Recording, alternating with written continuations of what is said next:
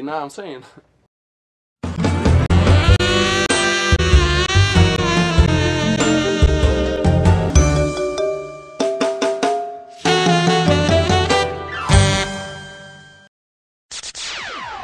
Yo, listen up, here's the story about a little guy that lives in a blue world. And all day and all night, and everything he sees is just blue. Like him, inside and outside. Blue his house with a blue little window and a blue Corvette. And everything is blue for him and himself and everybody around. Cause he ain't got nobody to listen to listen to listen to listen. I'm blue,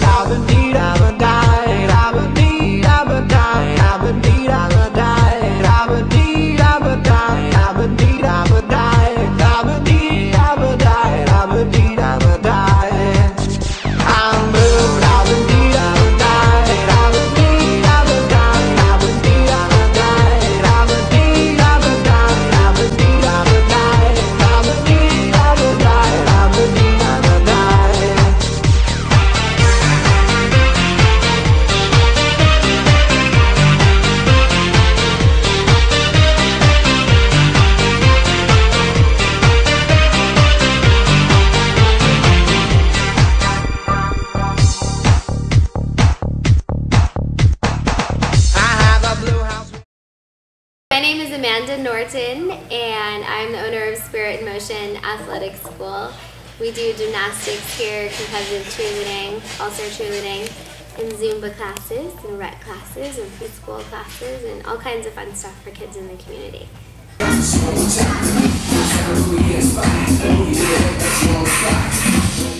They make our class so fun. We love having the boys here.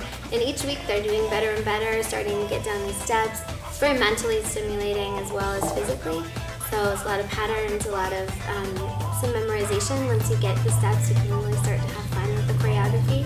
And it's just a blast having the boys in here. They work really hard and bring a lot to our class. So it's really fun. It's a great trade to do and makes them feel important like they're doing something so they can come into our class and it helps me out a lot too. So Yeah. The voice boys, the voice two boys are awesome. They work hard, they come in, they talk to the girls. The girls are getting used to them in the class now. At first it was a little different. I think one just more having males in the class.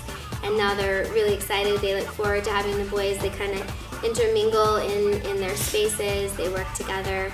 Um, I love the Voice 2 program. I think it's amazing all of the things that they do in the community between shopping and cooking and riding the bus and running errands. And um, Mr. Ellison's doing an amazing job with these boys in, in, in integrating them into life and all of the things in life. And I see them everywhere doing all kinds of things and in the paper and um, they're just extremely active in the community. And it's becoming a very well known program. And I'm really proud of them and I'm really glad that I get to be a part of their program and look forward to our Wednesdays that we get to spend together. It's really nice.